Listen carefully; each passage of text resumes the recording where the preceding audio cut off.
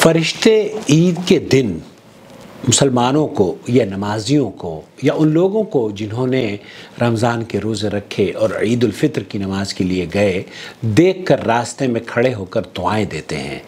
جی ہاں اس حدیث کو عام طور پر عید کی دن کی فضیلت کے طور پر پیش کیا جاتا ہے اور کہا جاتا ہے کہ عید کا دن جو ہے، یہ یوم الجائزہ یا لیلت الجائزہ۔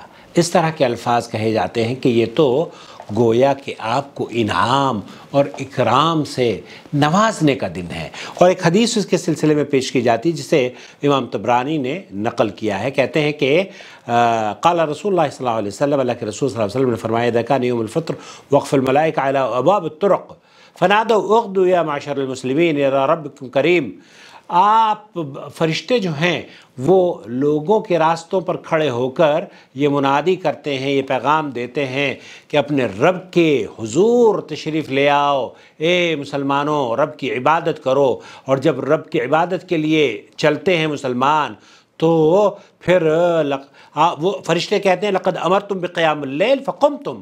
تم تم نے جو اللہ تعالیٰ نے تمہیں حکم دیا تھا قیام اللیل کرنے کا، تو پھر تم نے قیام اللیل کیا۔ وہ امر تم بسیام النہار فسم تم اور تمہیں روزہ رکھنے کا حکم دیا۔ تم نے روزے بھی رکھے۔ وہ تم تم ربکم اور پھر تم نے اللہ کا کھانا بھی کھایا فقبد جوائز حکم تو آج پھر اپنے جوائز کو، اپنے انعامات کو حاصل کر لو۔ لے لے جاؤ اپنے حاصم حاصل کر کے یہاں سے لے جاؤ۔ فیدہ صلو پھر اگر نماز پڑھ لیتے ہیں، جب یہ نماز کے لیے نکلتے ہیں، تب کی بات کی جا رہی ہے کہ راستوں میں ملائکہ فرشتے کھڑے ہو کر یہ مبارکباد کے الفاظ کہتے ہیں۔ پھر آپ جب نماز پڑھ لیتے ہیں، تو اس حدیث کے مطابق کہا جاتا ہے، ان ربکم قد غفر لکم۔ آپ کو آپ کے رب نے معاف کر دیا ہے۔ فرجعو راشدین الى رحالکم۔ پھر آپ کامیاب ترین پہنچو۔ اپنے گھروں کو لوٹو۔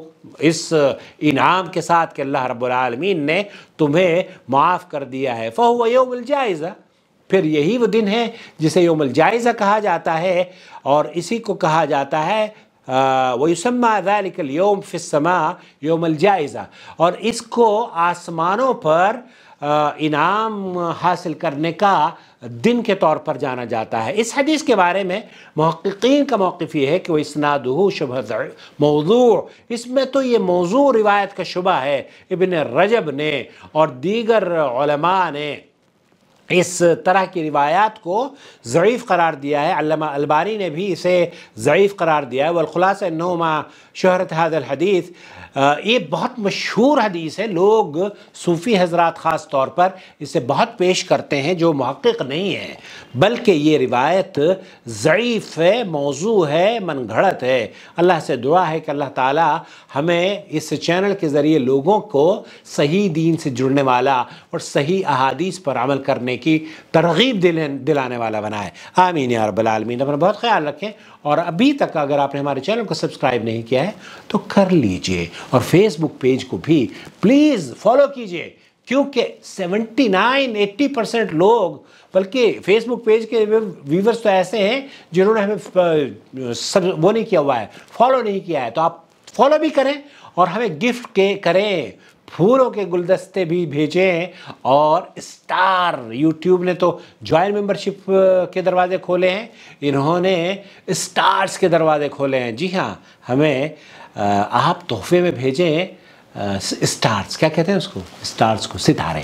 تھینک یو سو مچ وما أرسلنا من قبلك إلا رجالا نوحي إليهم فاسألوا أهل الذكر إن كنتم لا تعلمون بالبينات والزبر وأنزلنا إليك الذكر لتبين للناس ما نزل إليهم ولعلهم يتفكرون أفأمن الذين مكروا السيئات أن يخسف الله بهم الأرض أو يأتيهم العذاب من حيث لا يشعرون